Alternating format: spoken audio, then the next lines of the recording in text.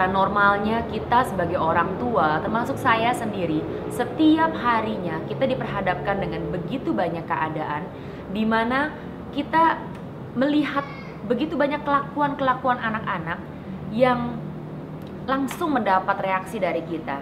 Kita ingin membenarkan gitu, kita ingin memperbaiki kelakuan ini, kelakuan itu. Sehingga sangat sekali mungkin untuk kita lupa bahwa kita harus mengingatkan dan mengajarkan sang anak tentang hatinya dan sikap hati yang tidak benar itu. Kita ambil contoh lagi. Seperti senario yang saya beri sebelumnya ya, tentang dua anak yang rebutan mainan tadi. Kalau kita melihat dari kacamata keadilan, sekali lagi, siapa yang mendapatkan mainan itu duluan, dia yang bisa main mainan itu duluan. Sedangkan yang anak yang kedua harus nunggu. Itu adalah dari kacamata keadilan atau what is being fair. Nah, kalau dari sikap hati, kita justru melihat bahwa di sini ada dua anak yang sama-sama tidak mau mengalah. Anak yang pertama hanya berpikir sebenarnya ini adalah sikap hati dia.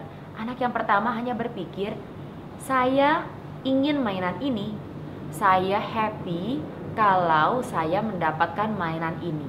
Dan saya tidak peduli kalau ada orang lain yang terluka, ada orang lain yang menginginkan, ada orang lain yang sedih hati, yang ingin mainan saya ini yang di tangan saya. Saya tidak peduli itu. Yang penting saya dapatkan apa yang saya mau. Saya tidak care tentang orang lain, teman saya, kakak saya, atau adik saya yang juga mau mainan ini. Nah, bagaimana dengan anak yang kedua? Kalau kita sekali lagi melihat dengan hal hati, dia menginginkan sesuatu dan dia paksa keinginan itu dan dia tidak peduli dengan feeling anak yang pertama yang telah mendapatkan mainan karena yang penting saya ingin mainan itu di tangan saya juga. Saya mau barang itu sekarang dan saya tidak peduli kalau itu berarti kakak saya, adik saya, teman saya itu tidak mendapatkannya. Saya mau barang itu di tangan saya. Jadi, kalau kita lihat sebenarnya kita diperhadapkan dengan dua anak yang selfish, anak yang hatinya itu tidak care satu dengan yang lainnya. Hati yang hanya mementingkan apa yang dia inginkan. Nah, di sini sebenarnya kita bisa menolong kedua anak ini dengan menjelaskan kepada mereka bagaimana ini adalah sikap hati yang salah karena inside their hearts they simply don't care about the other person. Di dalam hati mereka, mereka tidak peduli dengan temannya. Mereka hanya ingin menang sendiri, mereka hanya mementingkan keinginan mereka sendiri. Dan anak-anak bisa diajak untuk melihat bagaimana sikap hati seperti ini adalah salah. Bahwa mereka seperti kita, mereka itu orang yang berdosa juga. Dan dengan sikap hati seperti ini, mereka akan melukai temannya, menyakiti hati temannya atau kakaknya atau adiknya dengan kata-kata atau dengan action mereka.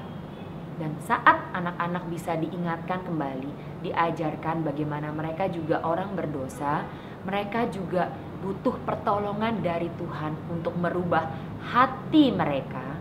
Di situlah kita bisa menolong mereka makin mengerti keberadaan mereka dan mereka pun bisa bersama-sama dengan kita berdoa minta Tuhan tolong rubah hati saya sehingga kelakuan saya, perkataan saya bisa keluar menjadi orang yang lebih caring, orang yang lebih mementingkan kakak adik atau teman lain.